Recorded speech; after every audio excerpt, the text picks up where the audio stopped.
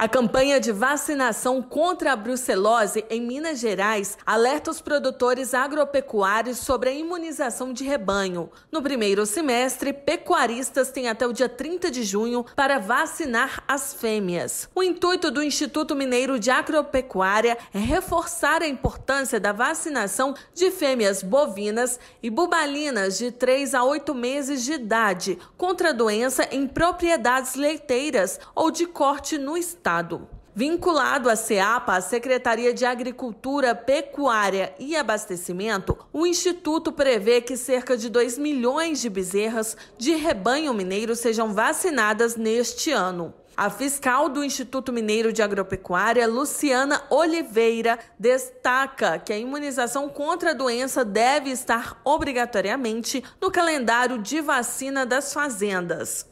A vacinação contra a brucelose deve ser rotina em todas as fazendas, independente do perfil produtivo, sejam elas propriedades leiteiras ou de corte, todas as bezerras precisam ser vacinadas para estarem protegidas contra a brucelose. O produtor deve ainda declarar a vacinação realizada pelo veterinário cadastrado no IMA, de acordo com a legislação. Ao final de cada semestre, o produtor tem até o décimo dia do mês subsequente para realizar a entrega dos atestados de vacinação contra a brucelose no IMA. Na prática, as vacinações realizadas no primeiro semestre de cada ano deverão ser declaradas até o dia 10 de julho.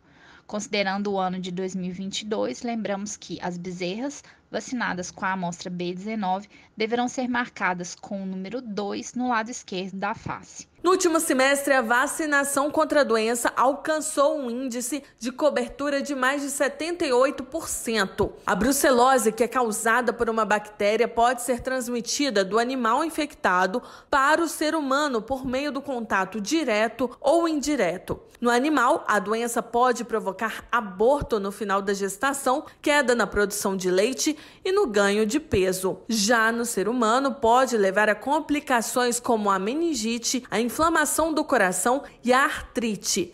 Da Agência Minas, Camila Kiefer.